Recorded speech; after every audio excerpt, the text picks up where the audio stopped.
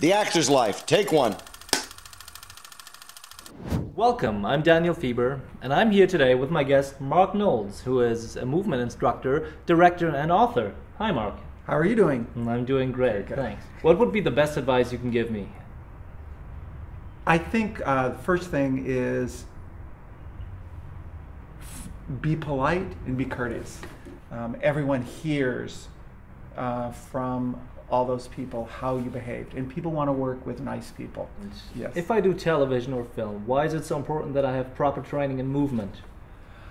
I, I don't necessarily think you have to be an incredible dancer to be a successful actor, but I think uh, studying movement can help turn you into a full bodied actor. Movement also gets you in shape, and acting is tough. It takes a lot of energy and it takes a lot of strength.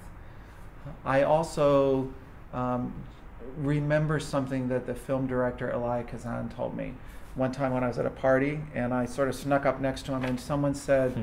"How do you succeed in this business?" And he said, "Learn everything you can possibly learn, because someday you'll use it." I think I think I'm sort of famous at the American Academy for yelling face face. And a lot of this has to do with the way that you practice is the way that you perform. So during the rehearsal process um, all the way through performance you've got to work with full energy and that means facial engagement